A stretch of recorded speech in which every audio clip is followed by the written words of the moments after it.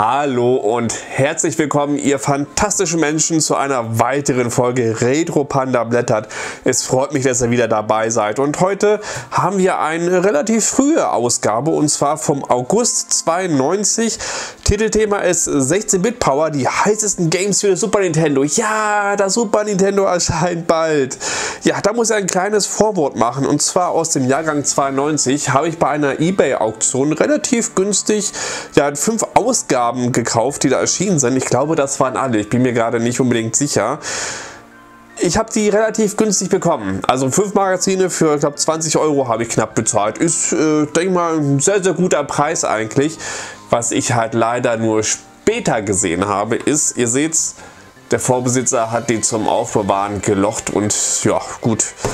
Das heißt, wir werden in den nächsten Ausgaben auf jeden Fall immer bei den Magazinen diese Löcher da haben. Aber ich mein Gott, es gibt Schlimmeres und für den Preis passt das natürlich und einfach so zum Durchblättern und zum Nostalgie-Schwelgen reicht das ja auf jeden Fall. Also würde ich sagen, ja, das Magazin, ähm, denke mal, ja, Super Nintendo. Ich denke mal, andere Spiele werden das nicht sein. Das wird, denke ich mal, so eine Art Sonderausgabe sein, was es aber eigentlich eine reguläre Ausgabe ist, wenn ihr versteht, was ich meine. Aber lange genug der Vorrede, schauen wir einfach mal rein.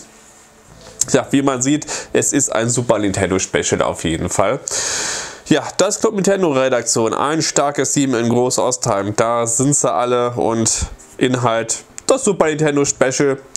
Allgemein kommt mir die Ausgabe aber relativ dünn vor. Das ist natürlich jetzt durch diese durch diese Kamera sehr schlecht zu sehen, aber es fühlt sich nicht sehr dick an. Aber ich würde sagen, wir steigen gleich rein. Auch hier natürlich die Leserbriefe und oh, guckt euch mal an. Ist das nicht ein herrlicher Kuchen? Oh, ja, das Magazin fällt etwas auseinander. Man merkt schon, es ist von 92. Guckt euch mal diesen wunderbaren Super Mario Kuchen an. Mensch, herrlich. Auch hier die Zeichnung. Also ich konnte als Kind bei weitem nicht so gut zeichnen auf jeden Fall. Aber auch hier mal wieder das Bild hier in der Mitte, das ist natürlich pure 90er. Ach, herrlich, da hat sich wer seinen eigenen Kalender gebastelt. Ja, so kreativ war ich denn leider auch nicht, weil ich leider nicht zeichentechnisch begabt bin. Aber naja.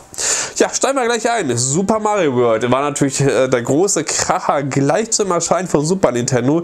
Hier wird nochmal alles schön dargestellt und wie immer, ich weiß, ich wiederhole mich, ich finde einfach diesen herrlichen Zeichenstil dieser frühen 90er in den Super, äh, in den Club Nintendo Magazinen und so weiter, in den Werbeanzeigen. Das heißt, so einen ganz eigenen Zeichenstil, so ein bisschen knuddelig, aber sehr farbenfroh und alles finde ich immer noch herrlich. Also wunderbar. Das ist einfach Nostalgie pur. Das würde man heutzutage irgendwie anders zeichnen, aber ja, ich finde es schön. Feder, Schlüssel zum Öffnen, Sturzflug auf die Gegner. Ja, ja, das, äh, das habe ich äh, nie so ganz hinbekommen, muss ich sagen. Ich weiß auch nicht, wieso. Der Drehsprung ist natürlich alles klar. Ich glaube, ich muss zu dem Spiel nicht mehr groß sagen, oder? Also wer von euch den, das nicht gespielt hat, es tut mir leid, aber es ist eines der Must-Have und Must-Play für den Super Nintendo. Eines der besten Plattformer auf jeden Fall und das gleich zu Start. Also das kann wirklich nur Nintendo immer, dass gleich bei den Launch-Titeln so eine super Qualität da ist, wo sich manche Dritthersteller ja immer so erst nach der Jahre nach rantasten müssen man sagt ja nicht umsonst, bei jeder relativ neuen Konsole sind die ersten Titel meistens so, aha, naja, da müssen die Entwickler ja immer noch ein bisschen gucken, wie die Technik ist, wie gestaltet am besten die Grafik. Die, die äh, Spiele am Ende eines Lebenszyklus einer Konsole sind meistens oder eigentlich immer wirklich wesentlich besser, sehen besser aus, sind verfeinert und so weiter, weil die halt die Erfahrung gesammelt haben. Und gut, klar, die Nintendo hat es selber entwickelt, deswegen konnten sie gleich von vornherein abschätzen, was man da alles rausholen kann und so weiter. Ne? Aber herrlich. Und auch natürlich die Insel, die ist wirklich bei jedem eingebrannt. Ne? Muss ich gucken, noch eine Seite. Das war, das war wirklich super. Das, da, daran kann ich mich erinnern, dass ich bei diesem Bosskampf das, also ich hatte Super Mario World ja nicht als Kind, aber beim Kumpel gesehen und ich fand das super faszinierend, weil das ist ja auf, auf so einer auf so, so einen Halbkreisinsel quasi, die in der Lava schwimmt. Und je nachdem, ob man da links oder rechts ist, bewegt die sich halt nach links und rechts. Und das fand ich super, super faszinierend irgendwie damals, dass sie das so dynamisch bewegt und auch entsprechend skaliert. Ich schätze mal, da wird auch der Mode 7 Effekt zum Einsatz gekommen sein, aber es fand ich echt super. Oder auch hier dieses... Ähm, ich halte es mal ein bisschen rein. Ich weiß nicht, äh, je nachdem, ob ihr es auf, auf ein Smartphone guckt und so weiter, ich halte es mal ein bisschen länger rein. Da halt das mit diesem Gitter, dass man quasi auch hinter dem Gitter agieren konnte. Das ist, das ist merkbar, trotzdem, dass es 2D ist, verschiedene Ebenen gab. Das war wow, also wirklich, das war wirklich... Ähm, Sprung von 8-Bit zu 16-Bit war gefühlt wirklich ein Riesensatz und das hat man sogar als Kind gut feststellen können. Ja, Natürlich ein Zelda, A Link to the Past, das habe ich allerdings als Kind gehabt und habe es geliebt. Ich habe es damals aber nie durchgespielt, weil ich bin dann irgendwann in der dunklen Welt irgendwie boah, bei Dungeon 3 oder 4, keine Ahnung, kam ich mir nicht weiter. Und dann kamen immer andere Spiele, ihr kennt es, ne? Und dann spielt man eine Zeit lang ein Spiel nicht, dann kommt man da irgendwie so ein bisschen raus und so weiter. Aber herrlich, also das ist für mich das zweitbeste Zelda-Spiel, was es überhaupt gibt. Ihr kennt ja meinen äh, Favoriten Nummer 1, äh, dann nerv ich euch ja fast jedes Video mit, wie fantastisch das, äh, ich das Spiel finde, aber das ist ebenso super. Das hat auch nochmal so, also wirklich, die, diese Start-Line-Up, was, was Nintendo, ich glaube Zelda ist, ist nicht komplett zum, zum äh, Erscheinungsdatum erschienen, sondern ein bisschen später, aber sag ich mal in diesem äh, Anfangszeitraum, was da an Spielen rausgehauen wurde, ey, das ist äh, wow. Da muss man wirklich Hut ab vor Nintendo. Da haben sie wirklich für jeden was dabei und jedes einzelne Spiel hat wirklich volle Power gezeigt. Und ja, Legend of Zelda wunderbar. Also auch dafür, wie Super Mario, dass es so ein frühes Spiel ist und trotzdem so viel aus dem System rausholt. Aber hier, das meine ich ja mit den ganzen Zeichnungen und so weiter. Diesen, dieser Zeichenstil, ach, ich finde einfach herrlich. Ja, das Schmetterlingsnetz, ähm, das war ja, glaube ich, so eher optional, glaube ich, als Item zum Beispiel. Das war auch zum Beispiel fantastisch, dass es, dass es Items gab, die, die man optional haben konnte, um sich halt bestimmte Vorteile oder so kleinere Sidequests und sowas zu, zu erledigen, aber nicht unbedingt nötig waren. Das heißt, man kann eigentlich durch das Spiel durchgehen und hat sowas gar nicht irgendwie nie benutzt. Zumindest glaube ich theoretisch. Ich weiß gar nicht, ob es da jetzt wirklich irgendwo vielleicht doch noch eine Aktion gab, aber ist egal. Ja, diese Medaillons, die haben mich äh, genervt, als ich das jetzt ja, vor zwei, drei Jahren nochmal durchgespielt habe. Weil ich finde, dass, äh, dass man diese Medaillons braucht, um weiterzukommen. Die sind ja teilweise wirklich komplett frei in der Welt irgendwo, dass man die findet. Darauf muss man erstmal kommen. Und das finde ich so, so zum Schluss hinein, da finde ich halt Link's Awakening besser, weil das linearer ist. Da weiß man halt immer, was man tun muss. Und hier ist es wirklich so, hm, naja, hier und da. Äh, deswegen ist es für mich nur das zweitbeste Zelda. Aber es ist natürlich, muss ich auch da nicht viel zu sagen. Super Art-Type. Ja, Shoot'em-Ups sollten natürlich auch bedient werden. Jetzt kommen wir mal zu einem Nicht-Nintendo-Spiel auf jeden Fall. Habe ich damals nicht gespielt, aber die Art-Type-Serie ist mir so aus Prinzip sympathisch, weil ich nämlich A-Type auf den Gameboy damals hatte und natürlich hoch und runter gespielt habe. Ich bin überhaupt nicht gut, was Shoot'em-Ups angeht.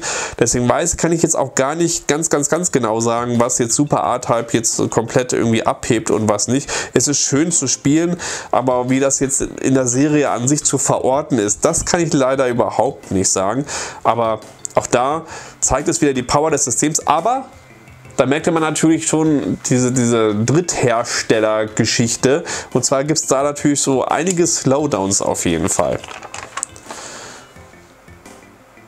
Also hier auch, auch wirklich die, Effekte und so weiter. Also weil, weil man das, man muss das wirklich aus den Augen eines NES gewöhnten Kindes sehen, dieses Magazin. Das, da ist das hier die wahre Fundgrube. Ich, ich weiß gar nicht, ob ich das Magazin damals hatte oder nicht, aber ich hätte hier, glaube ich, wirklich jeden einzelnen Screenshot komplett aufgesaugt.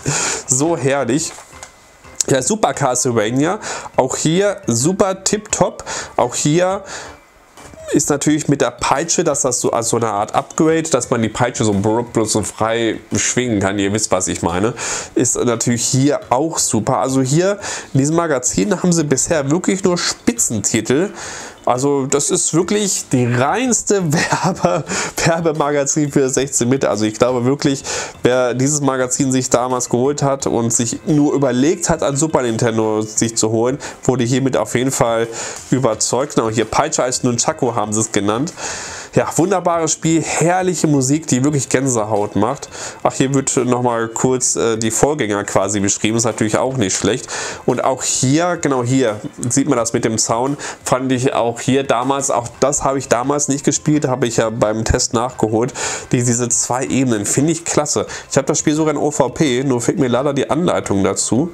Ist auch nicht ganz billig als OVP, aber ich hatte da einen ganz guten Deal mal geschafft. Ja, wunderbar. Ich weiß nicht. Herrlich. Auch hier ähm, haben sie da diesen Mode 7 Effekt benutzt, um dann quasi auch die Räume teilweise zu drehen. Das war wirklich, dass, dass die Level und die Räume an sich auch noch interaktiv waren. Also über von wegen äh, irgendwelche Blöcke kaputt machen hinaus. Ach, herrlich. Ach, die Tipps und Tricks Seiten haben sie. Ach, guck mal.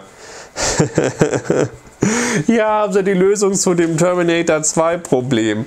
Herrlich. Also die, die Lösung hätte ich damals echt gebraucht. Ich habe da ja, das war eines meiner ersten Testvideos, da habe ich das auch schon mal angesprochen, dass das sehr zweifelhaft ist und nicht sehr einfach lesbar ist. Und zwar, wer es äh, nicht kennt, das Spiel, das Spiel kann sehr, sehr frustrierend sein, weil ja gleich im ersten Level, das ist relativ lang gestreckt und dann gibt es verschiedene hohe Türme.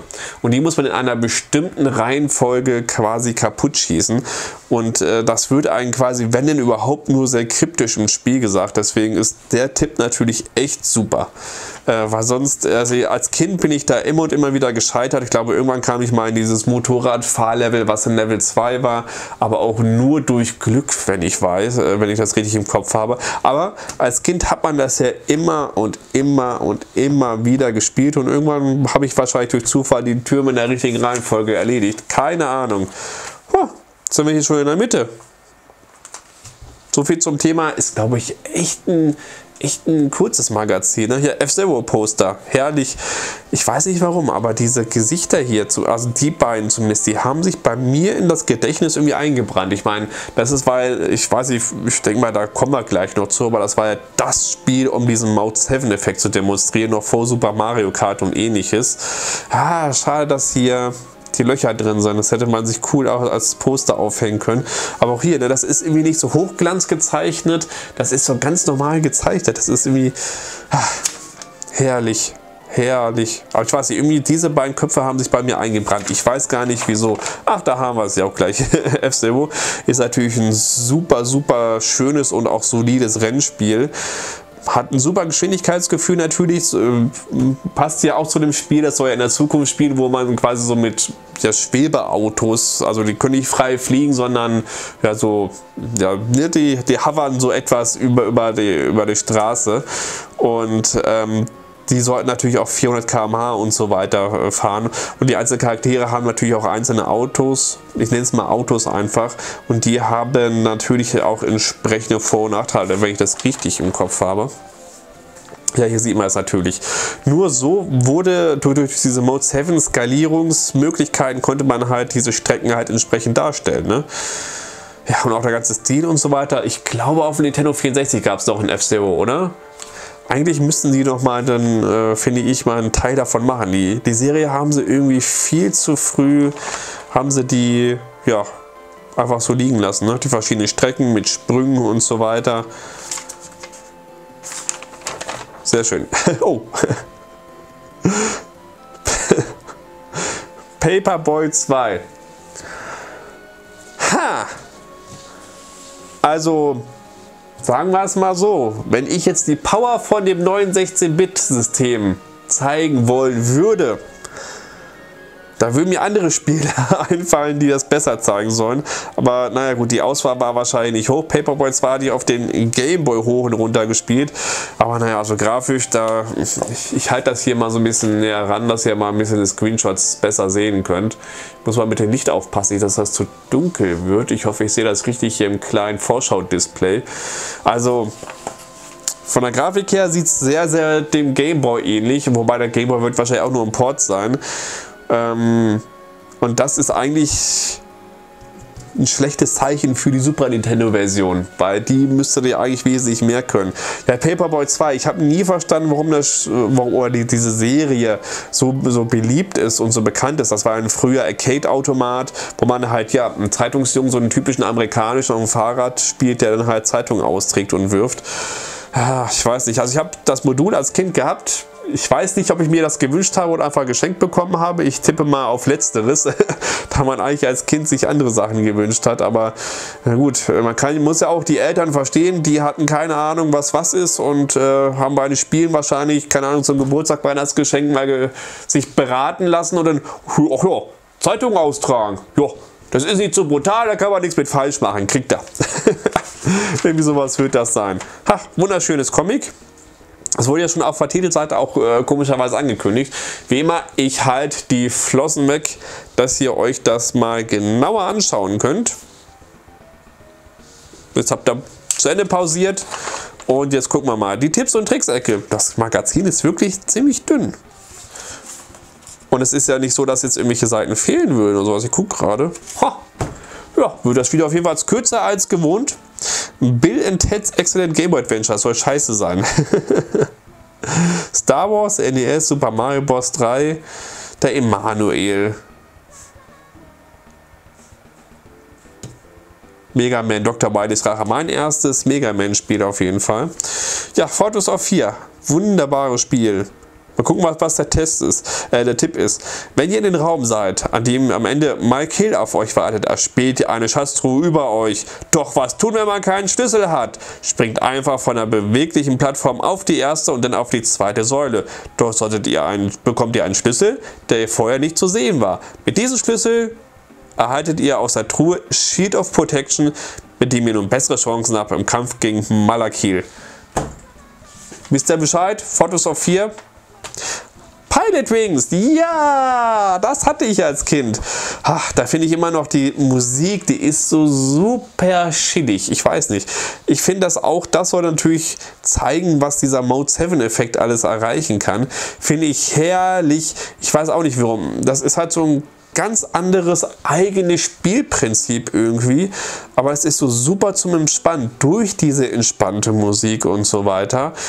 Ich habe das wirklich als Kind sehr, sehr ausdauernd gespielt, obwohl es eigentlich nicht so unbedingt mein Spiel hätte sein dürfen, sagen wir es mal so, weil man wollte natürlich eher so Ballerspieler haben und Plattformer und hier nicht irgendwie in einem, einem, Doppeldecker irgendwelche Ringe durchfliegen. Aber finde ich echt schön. Finde ich echt schön. Ich glaube auch auf der auf dem Nintendo 64 gab es doch einen Titel und auf der Wii.